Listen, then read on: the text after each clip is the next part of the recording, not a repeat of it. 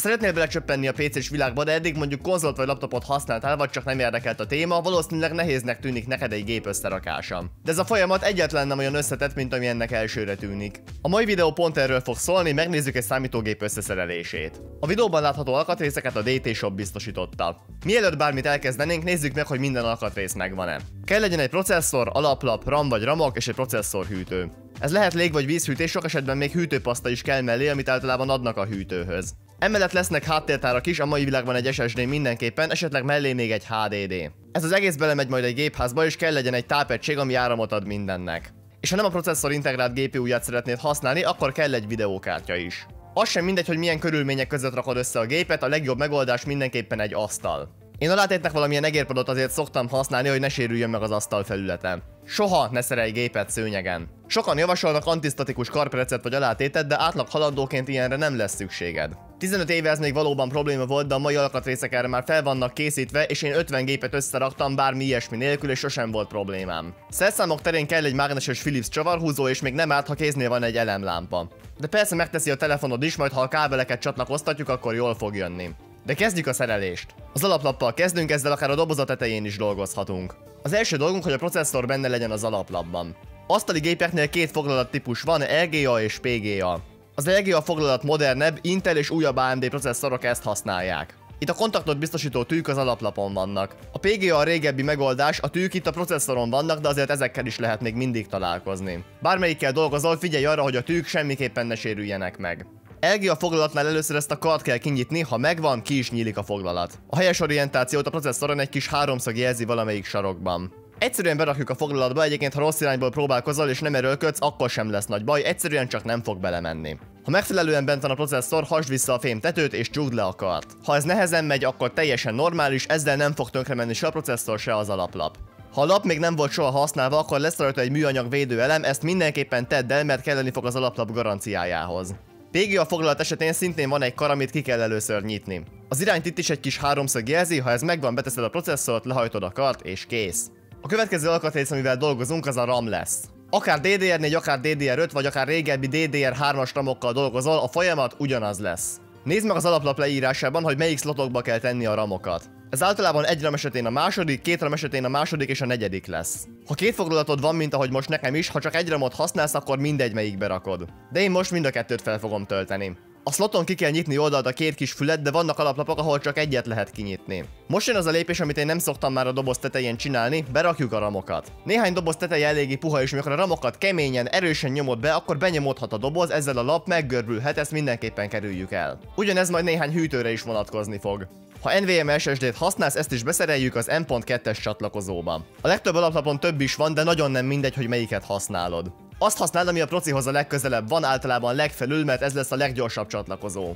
A lapdobozában találsz egy távtartót, amit be kell csavarni a megfelelő helyre, ami általában a 2280-as lesz. De szerencsére van, hogy nem neked kell becsavarni, mert alapból ott van az alaplapom. Ha nincs ott, akkor mindenképpen csavar be, mert nélküle tönkre mehet az SSD. Találni fogsz még egy kis csavart is. Az SSD-t helyezd a csatlakozóra egy nagyjából 30 fokos szögben, majd hajtsd le. Itt jön jól a mágneses csavarhúzó. Legyél óvatos ezzel a csavarral, ne nyírd ki a menetet. Újabb lapoknál még ezzel sem kell foglalkozni, és csavar nélkül rögzíthető az SSD. Jobb alaplapok hűtőbordával is rendelkeznek. Ha meghajtón is van hűtőborda, azt el kell távolítani. De ha matrica van rajta, akkor az maradhat, azt nem kell leszedni. És most processzor hűtő, ezt én ekkor szoktam felrakni, ha léghűtéssel dolgozok. Ezt előbb is lehetett volna, de nagy hűtők esetében sokkal kevesebb helyed van a ramoknál és az SSD-nél, ezért szoktam én ezt ekkorra hagyni. Nagyon fontos, hogy mindenképpen nézd meg a hűtő leírását, mert ez minden hűtőnél más és más lesz. Én most az Intel gyári hűtőjét fogom felrakni.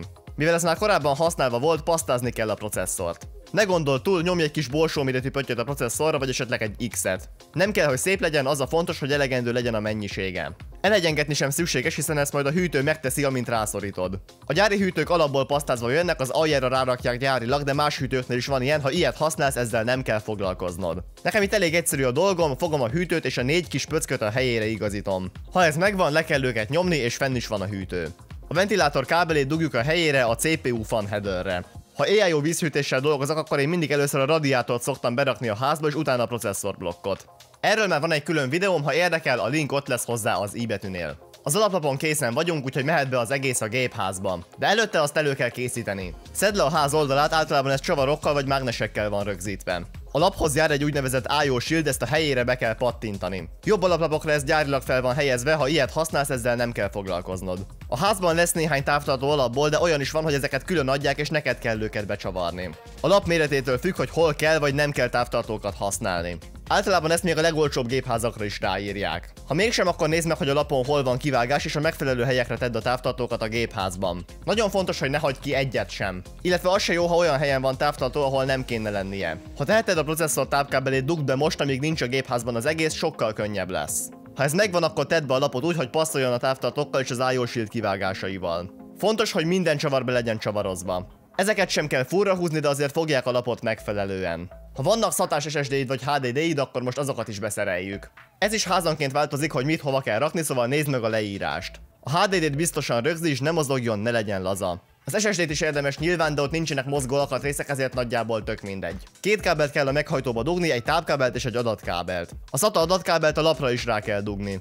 És ha már elkezdtünk kábelezni, akkor dugjunk be mindent. A gépház előlapi jack és USB portjait nem nagyon lehet eltéveszteni, elég magától értetődő, hogy hova mennek. Ezeket a lap alján vagy a jobb oldalán kell keresni.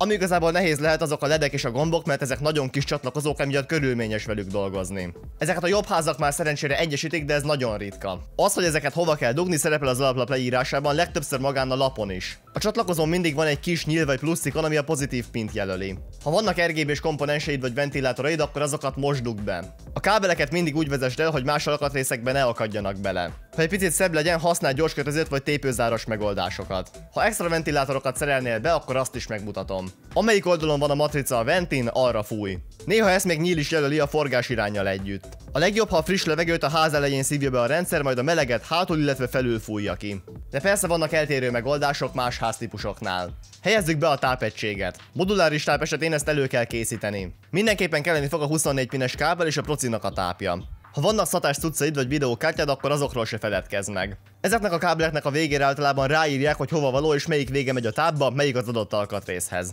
A tápot úgy csúsztas be a házba, hogy a venti lefele nézzen.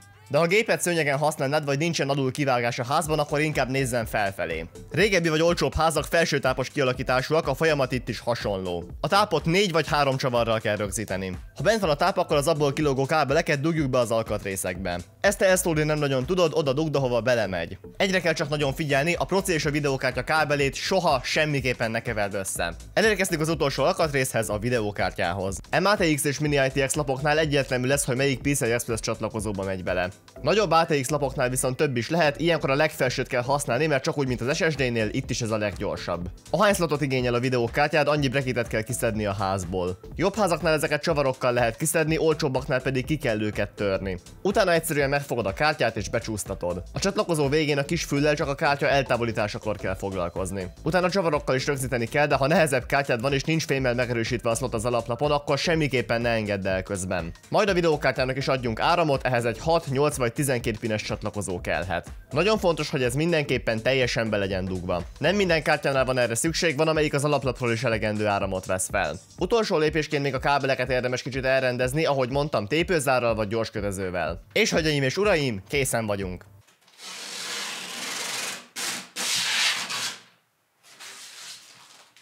Már csak egy tápkábel, egér, billentyűzet és egy monitor fog kelleni. Ha van videókártyád, a monitort semmiképpen ne az alaplapba, hanem a kártyába dugd. Kapcsold be a tápot, nyomd meg a bekapcsoló gombot, és ha mindent jól csináltál, valami ilyesmit kell látnod.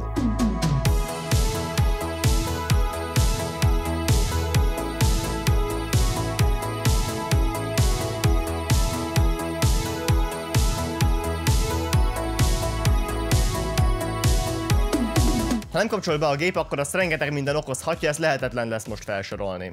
Ellenőrizd, hogy az elosztó, ha azt használsz, szintén be legyen kapcsolva. Nézd meg, hogy biztosan minden alkatrésznek adtál le áramot. Ha az alaplapon vannak diagnosztikai ledek vagy kis kijelző, ez elárulja, hogy melyik alkatrészben kell keresni a hibát. Gyakran megtörténik, hogy a ramok vagy a processzor nem érintkeznek megfelelően, ezeket ilyenkor vedd ki és helyezd be újra. Ha ez nem segít, a tápkábeleket is érdemes újra csatlakoztatni. Ha semmiképpen nem boldogulsz, akkor lépj be a Discord szerveremre, a link ott lesz hozzá a leírásban, ott könnyen kérhetsz segítséget. 4500 tag van, garantálom, hogy gyorsan választ kapsz. Ha mindent jól csináltál, akkor valószínűleg most a BIOS látod. Ez azért van, mert nincs operációs rendszer a gépen. De ennek a telepítéséről és a BIOS beállításáról már csak egy következő videóban lesz szó.